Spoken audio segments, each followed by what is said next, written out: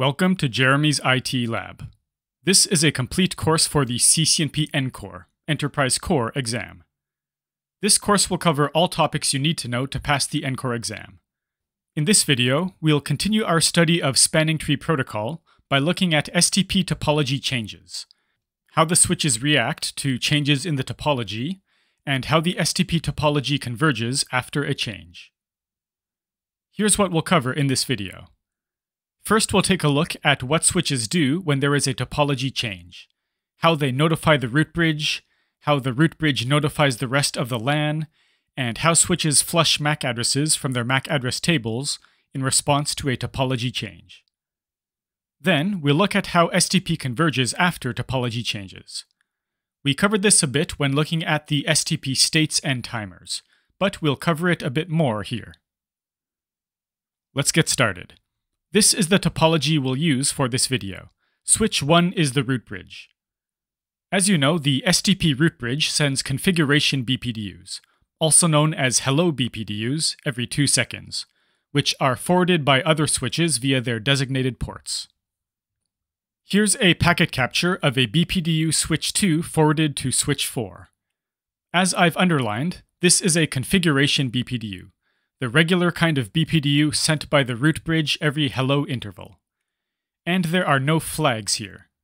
There are two types of flags, topology change acknowledgement and topology change. We'll see how those work soon. Let's say switch 4 G02 went down, which counts as a topology change. If there is a topology change, the switch will send a topology change notification BPDU on its root port. What exactly counts as a topology change? When any port transitions to the forwarding state, it's a topology change. Or when a port in the learning state or forwarding state transitions to the blocking state or disabled state. In either of those cases, the switch will send a TCN. Here are the contents of a TCN BPDU. There's not a lot of information. The point is just to tell the root bridge that there has been a topology change. After receiving switch 4's TCN, switch 2 will send a TCN out of its root port. And it will then acknowledge switch 4's TCN by sending a configuration BPDU with the topology change acknowledgement flag set. Note that switch 2 sends its TCN before acknowledging the one it received from switch 4. The goal is to notify the root bridge as soon as possible, so the TCN takes priority. Switch 1, the root bridge, will then acknowledge switch 2's TCN. Switch 1's TCA also has the TC, topology change flag set, and we'll look at that soon. As a side note, a switch that has sent a TCN will send one every hello interval until it receives a TCA. However, it should receive the TCA almost instantly, so in most cases the switch should just send one TCN BPDU. Here's a look at the TCA BPDU that switch 2 sends to switch 4. Note that it is a configuration BPDU, not a TCN BPDU. There are two main BPDU types, configuration and TCN. The TCN BPDU type is only used for the notification sent to the root bridge, not for the acknowledgement of that message. Instead, the acknowledgement is a configuration BPDU with the TCA flag set, as you can see here. So what happens after the root bridge receives the TCN? After receiving it, the root bridge sets the topology change flag on configuration BPDUs it sends, and other switches forward them as usual. The root bridge continues to set the TC flag on its BPDUs for the duration of the max age plus forward delay timer, so 35 seconds by default. This notifies all switches in the LAN that there has been a topology change. Then the next question is, what do the other switches do in response? When a switch receives a configuration BPDU with the TC bit set, it shortens the MAC address aging timer to match the forward delay timer, 15 seconds by default. So MAC addresses of devices that don't communicate within 15 seconds will be flushed from the table. But MAC addresses of communicating devices will be maintained. Let's take a look. So before receiving the BPDU with the TC flag set, Switch 3's MAC address aging time is 300 seconds, the default. After receiving the BPDU with the TC flag, it shortens its MAC address aging time to 15 seconds. There's a good reason for this, and I'll explain it soon. But before that, here's a quick look at a configuration BPDU with the TC flag set. Let me highlight that this is a configuration BPDU, not a topology change notification BPDU. To repeat, there are two types of BPDU, configuration and TCN. TCN BPDUs are only used to inform the root bridge of a topology change. Topology change acknowledgement and topology change, on the other hand, are configuration BPDU flags. The TCA flag is used to acknowledge receipt of a TCN BPDU, and the TC flag is used to tell all switches in the LAN that there has been a topology change, and they should rapidly age out their known MAC addresses. As you can see here, the TC flag has been set in this configuration BPDU sent from switch 2 to switch 4. So, why rapidly age out MAC addresses? Let's take a look. In normal circumstances, communication between PC1 and PC2 goes via switch 1 and switch 2. The switch 3 to switch 4 link is blocked by STP. Here's switch 3's MAC address table entry for PC2 and switch 4's for PC1. But what happens if there is a failure on the switch 1 switch 2 link? How long will it take for PC1 and PC2 to be able to communicate again? Of course, STP will reconverge in a new topology, which will take 50 seconds, the max age timer and twice the forward delay timer. Here's where rapidly aging MAC addresses comes into play. If switch 3 and switch 4 didn't age out their MAC addresses, they would still attempt to send frames between PC1 and PC2 via switch 1 and switch 2. Switch 3 still thinks it can reach PC2 via G00, and switch 4 still thinks it can reach PC1 via G00. Because switch 3 sends PC1's frames to PC2 out of G00, they don't reach switch 4, and switch 4 doesn't update its MAC address table entry for PC1. And the same applies for switch 3's MAC address table entry for PC2. It would take 5 minutes for switch 3 to age out its PC2 entry, and for switch 4 to age out its PC1 entry. After switch 3 ages out its PC2 entry, it will flood the frames PC1 sends to PC2. That will allow switch 4 to relearn its entry for PC1. Likewise, when switch 4 ages out its entry for PC1, it will flood the frames PC2 sends to PC1, allowing switch 3 to relearn its entry for PC2. PC1 and PC2 can now communicate. However, it took 5 minutes in total. By rapidly aging out MAC addresses, Switch 3 and Switch 4's old MAC address table entries for PC1 and PC2 will be removed by the time the Switch 3 Switch 4 link comes up. Then they will flood frames again and relearn the necessary MAC addresses. STP reconvergence will still take 50 seconds, but that's much better than 5 minutes.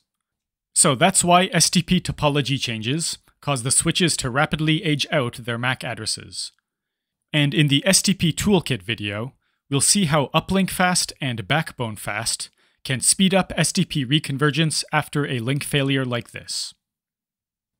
Now let's look at a few examples of STP reconvergence. We covered a few examples in the video on STP states and timers. So here, let's combine that information with what we just covered about topology change notifications and such. Here's the first example. If the switch 3 switch 4 link goes down, Traffic is unaffected because the link was already disabled. Switch 3 will send a TCN, which switch 1 will acknowledge and then begin setting the TC flag on BPDUs like this. So even though the topology change doesn't affect traffic, switches will adjust their MAC address table aging time to 15 seconds. Note that switch 4 doesn't send a TCN, because a port moving from blocking to disabled doesn't trigger a TCN. The STP reconvergence time is 0 seconds. Switch 3 G01 and switch 4 G01 move to the disabled state, but no other ports change their roles or states. The first example was fairly simple. Here's a second one. If the switch 2 switch 4 link goes down, traffic will be affected until STP reconverges. Let's see the process. Switch 2 will send a TCN out of its root port, G00, because its G01 port went down. Switch 1 will acknowledge Switch 2's TCN and start setting the TC flag on BPDUs it sends for the duration of the max age and forward delay timers, so 35 seconds. Switch 4, still receiving BPDUs from switch 3, will select G01 as its new root port and send a TCN. Switch 3 will send a TCN to switch 1, and then acknowledge switch 4's TCN. And switch 1 will acknowledge switch 3's, and continue to set the TC flag on configuration BPDUs it sends. So the switches will adjust their MAC address table aging time to 15 seconds. Switch 4 will send a TCN again once G01 enters the forwarding state. And the same sequence as before occurs. Switch 3 sends a TCN to switch 1, a TCA to switch 4, etc. The total reconvergence time should be about 30 seconds, because G01 needs to move through the listening and learning states after becoming switch 4's root port. However, because switch 4 was still able to receive switch 1's BPDUs, forwarded by switch 3, it was able to quickly determine that G01 should become its new root port. The max age timer didn't come into play in this example. The next example will be different. Let's look at a third example. If the switch 1 switch 3 link goes down, Again, traffic will be affected until STP reconverges, because it's an active link.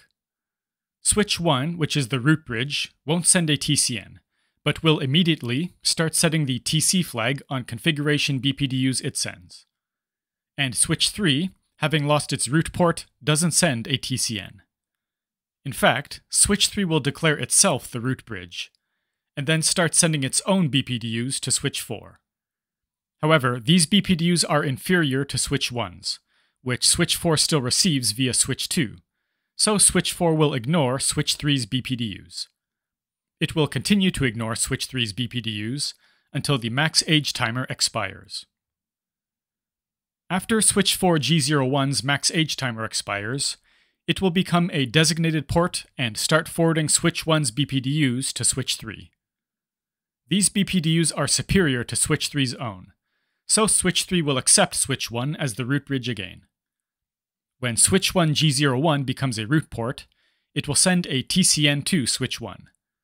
This is a bit unexpected, since its state remains forwarding, it doesn't change. However, as we'll confirm in the lab video, it does send a TCN when the role changes from designated to root. And when switch 4 G01 transitions to the forwarding state, it will send a TCN as well.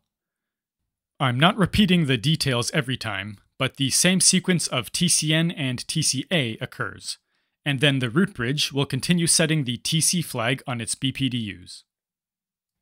So the total reconvergence time is about 50 seconds. In this case, because we have to wait for the max age timer of switch 4G01 to count down, it takes longer than in the other examples. Fortunately, Cisco switches can use uplink fast and backbone fast to speed this up, and those mechanisms are built into Rapid STP. We'll cover those in future videos. Here's what we covered in this video.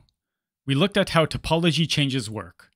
The switch that detects the topology change will notify the root bridge, and that process involves TCN BPDUs and configuration BPDUs with the TCA flag.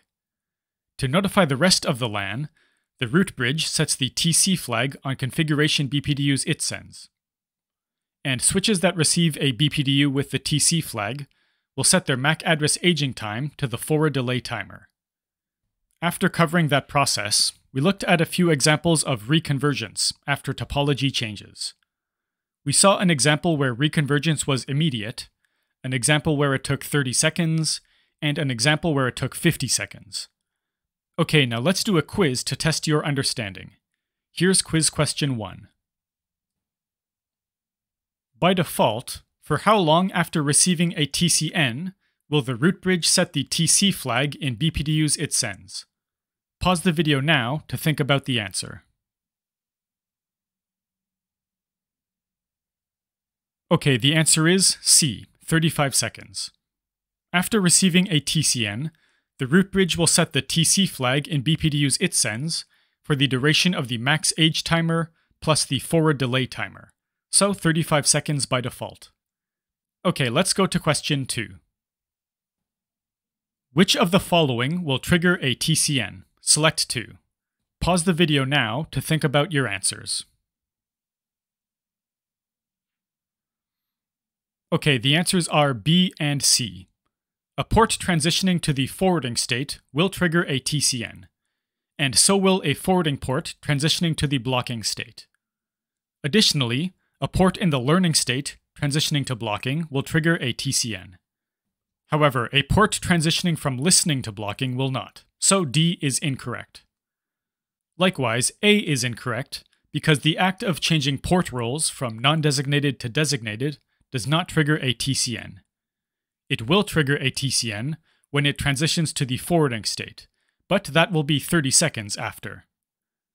Okay, let's go to question 3. What does a switch do upon receiving a configuration BPDU with the TC flag set? Pause the video now to think about the answer.